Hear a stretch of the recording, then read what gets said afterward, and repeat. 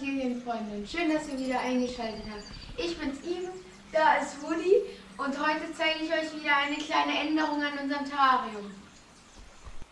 Da wir ja bald einen kleinen Varan kriegen, haben wir das Terrarium mit einer kleinen Scheibe getrennt, damit wir den Varan besser an den Teich gewöhnen können und damit er sich besser an uns gewöhnen kann.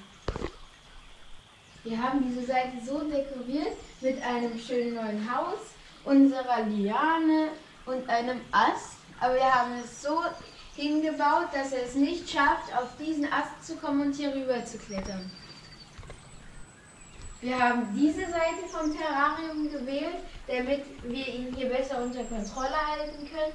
Da, außerdem auch an den Teich gewöhnt und vielleicht auch schon mal ein paar Fische jagt.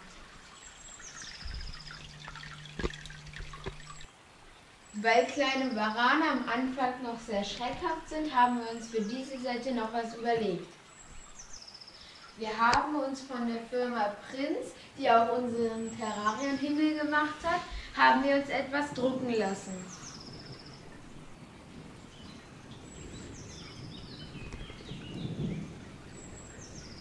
Wir haben uns für ein sehr schönes Wassermotiv entschieden, was dann auf diese feste Plane gedruckt wurde.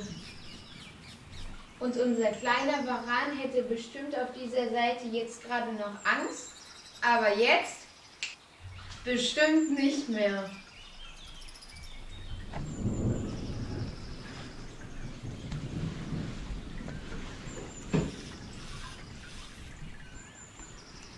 So sieht das Ganze jetzt von innen aus. Jetzt hat der Varan viel mehr Ruhe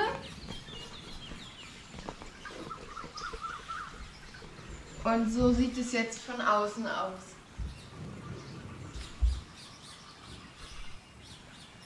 Das Ganze, was wir hier gebaut haben, ist auch eine Übergangsweise, denn wenn er schon groß und sich an uns gewöhnt hat, dann bauen wir das Ganze auch wieder ab.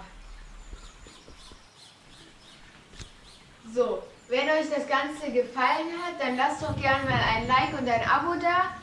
Aber erst, bevor wir uns wiedersehen, Ab in den Urlaub!